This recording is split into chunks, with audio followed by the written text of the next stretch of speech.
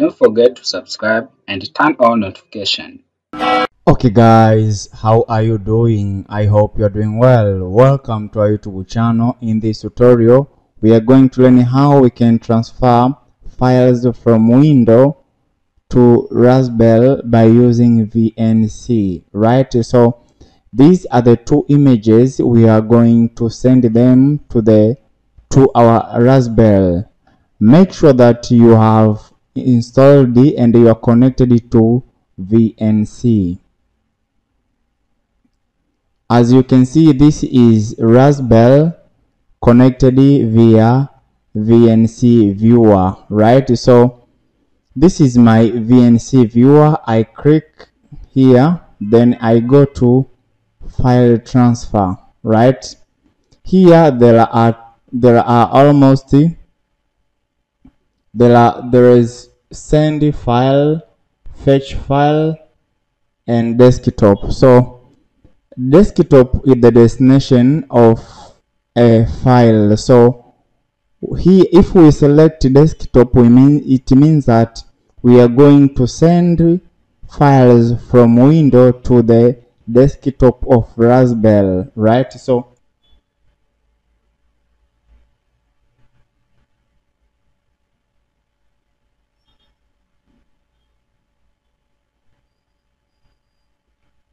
so after clicking on fetch here we can see we have another option.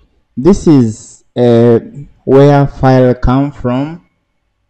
And here the fetch file. So I want to find my file in desktop. So here fetch file. Click on fetch file.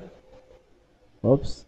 Click on send file then in desktop there is a folder named bell so i open it. Then after i select these two images. Right? Then after i open them.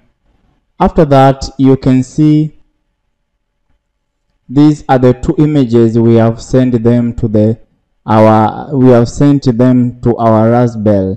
You can see this is d and this is uh, thumb.png as you can see this is a file we have sent to the raspberry so actually that is an end of our tutorial on how we can transfer a file from windows to raspberry by using vnc viewer.